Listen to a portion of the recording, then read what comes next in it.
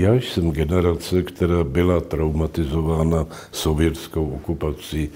A protože malý stát, nebo chcete-li stát středního rozsahu, si nemůže dovolit vlastní obranu, alespoň vlastní efektivní obranu, tak je zcela jasné, že musí hledat nějakou bezpečnostní garanci.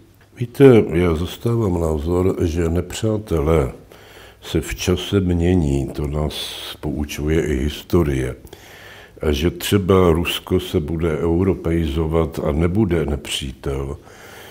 E, zastávám dokonce názor, že Čína ani dnes není nepřítel.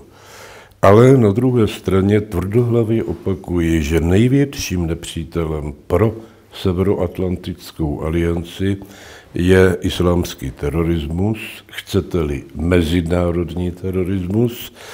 Já oceňuji roli, kterou na to sehrálo eh, v potlačení islámského státu a naopak jsem veřejně kritizoval zbabělý úprk z Afganistánu, který otevřel prostor Talibánu. Myslím si, že ty zkušenosti, které máme, jsou jak negativní, tak pozitivní, ale v zásadě převažuje ona bezpečnostní garance.